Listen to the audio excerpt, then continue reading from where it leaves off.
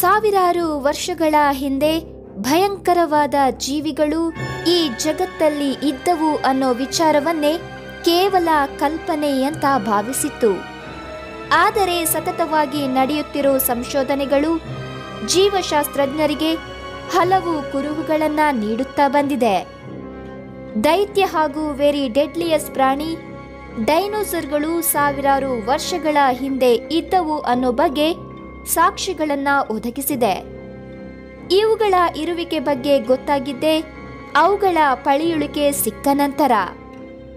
ಹೌದು, ಡೈನೋಸರ್ಗಳು ನೀರಿನಲ್ಲಿ, ಆಕಾಶದಲ್ಲಿ, ಭೂಮಿ ಮೇಲೆ ಘರ್ಜಿಸಿದ್ದವು. ಆದರೆ ಈಗ ರಿವೀಲ್ ಆಗ್ತಿದೆ ಮತ್ತೊಂದು ಸೀಕ್ರೆಟ್. ಸಾಧಾರಣವಾಗಿ ಜೀವಿಗಳು ಮೊದಲು ಭೂಮಿ ಮೇಲೆ ಬಂದಿದ್ದು ಆರ್ನೂರು ಮಿಲಿಯನ್ ವರ್ಷಗಳ ಹಿಂದೆ. ಆದರೆ ಸಂಶೋಧಕರಿಗೆ ಶೇಕಡ ತೊಂಬತ್ತೊಂಬತ್ತರಷ್ಟು ಸಾಮಾನ್ಯ ಜೀವಿಗಳ ಪಳಿಯುಳಿಕೆಗಳೇ ಸಿಕ್ಕಿದ್ದವು. ಆದರೆ ಅದರ ಹೊರತಾಗಿ ಸಿಕ್ಕ ಈ ಪಳಿಯುಳಿಕೆಗಳು ಇವತ್ತು ಎಪ್ಪತ್ತಕ್ಕೂ ಹೆಚ್ಚು ಮಿಲಿಯನ್ ವರ್ಷಗಳ ಇತಿಹಾಸವನ್ನ ಹೇಳ್ತಾ ಇದೆ. ಸಂಶೋಧಕರಿಗೆ ಸಿಕ್ಕ ದೈತ್ಯ ಮೂಳೆಗಳು ಈ ಹಿಂದೆ ಡೈನೋಸರ್ಗಳ ಆಕಾರ ಹೇಗಿತ್ತು ಅನ್ನೋದನ್ನ ಹೇಳುತ್ತಿವೆ. ಇದೇ ವಿಚಾರವಾಗಿ ಅವುಗಳ ಜೀವನ ಶೈಲಿ ಅವುಗಳ ಹಾರಾಟ ನಡೆಸುತ್ತಿದ್ದ ರೀತಿಯನ್ನ ಈ ಮೂಳೆಗಳು ಜೋಡಿಸಿ ನೋಡಿದಾಗ ಬೆಚ್ಚಿ ಬೀಳಿಸೋ ಆಕಾರ ರೂಪುಗೊಳ್ಳುತ್ತೆ. ಇನ್ನು ಡೈನೋಸರ್ಗಳು ಟ್ರಿಯಾಸಿಕ್ ಅವಧಿಯಲ್ಲಿ ಮೊದಲು ಕಾಣಿಸಿಕೊಂಡ ಡೈನೋಸರಿಯ ಪ್ರಾಣಿಗಳ ವೈವಿಧ್ಯಮಯ ಗುಂಪು ಎನ್ನಲಾಗುತ್ತೆ.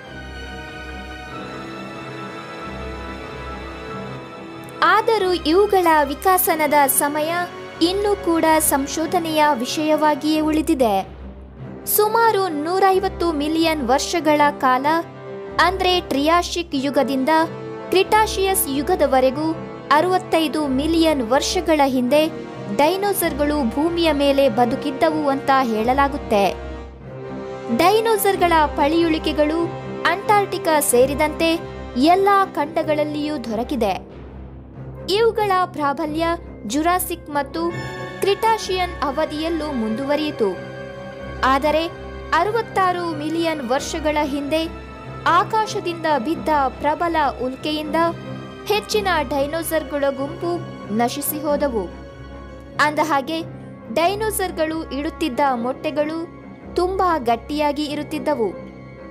ನೆಲದ ಮೇಲೆ ಗೂಡಿನಾಕಾರದ ಗುಂಡಿಯನ್ನ ಮಾಡಿ ಅದರಲ್ಲಿ ತನ್ನ ಮೊಟ್ಟೆಯನ್ನ ಇಡುತ್ತಿದ್ದವು. ಕೆಲವು ಪ್ರದೇಶದಲ್ಲಿ ಈ ಗೂಡುಗಳು ಪತ್ತೆಯಾಗಿವೆ. ಮೊಟ್ಟೆಯೊಡೆದು ಬಂದ ಮರಿಗಳು ಬೇಗನೆ ದೊಡ್ಡದಾಗಿ ತಮ್ಮ ಗೂಡನ್ನ ತೊರೆಯುತ್ತಿದ್ದವು. ಜಗತ್ತಿನಲ್ಲಿ ಅಸ್ತಿತ್ವದಲ್ಲಿದ್ದ ಅತಿ ದೊಡ್ಡ ಪ್ರಾಣಿ ಡೈನೋಸರ್ಗಳ ಸಂತತಿ ನಶಿಸಿ ಹೋಗಿ ಹಲವು ವರ್ಷಗಳೇ ಕಳೆದಿವೆ. ಅಂದಹಾಗೆ ಸ್ಕಾಟ್ಲೆಂಡ್ನಲ್ಲಿ ಡೈನೋಸರ್ನ ಅತಿ ದೊಡ್ಡ ಹೆಜ್ಜೆ ಗುರುತು ಪತ್ತೆಯಾಗಿದೆ. ಈ ಹೆಜ್ಜೆ ಗುರುತು ನೂರ ಎಪ್ಪತ್ತು ಮಿಲಿಯನ್ ವರ್ಷಗಳಿಗಿಂತಲೂ ಹಳೆಯವು ಎನ್ನುತ್ತಾರೆ ವಿಜ್ಞಾನಿಗಳು. ಕ್ರಿಟಾಷಿಯನ್ ಅವಧಿಯಲ್ಲಿ ತುಂಬಾ ತಂಪಾದ ವಾತಾವರಣ ಇದ್ದಿದ್ದರಿಂದ ಡೈನೋಸರ್ಗಳಿಗೆ ಬದುಕಲು ಅಸಾಧ್ಯವಾಗಿತ್ತು ಎನ್ನುತ್ತಾರೆ. ವಿಜ್ಞಾನಿಗಳ ಈ ಹೊಸ ಸಂಶೋಧನೆಯಿಂದ ಡೈನೋಸರ್ಗಳು ಭೂಮಿ ಮೇಲೆ ಇದ್ದವು ಅನ್ನೋ ವಾದಕ್ಕೆ ಬಲ ಬಂದಿದೆ. ಜಗತ್ತಿನ ವಿಸ್ಮಯ ಅದೆಷ್ಟಿದೆಯೋ ಗೊತ್ತಿಲ್ಲ. ಆದರೆ ಆರ್ನೂರು ಮಿಲಿಯನ್ ವರ್ಷಗಳ ದೈತ್ಯ ಡೈನೋಸರ್ಗಳ ಸಂಶೋಧನೆ ಇಂದಿಗೂ ಕೂಡ ಮುನ್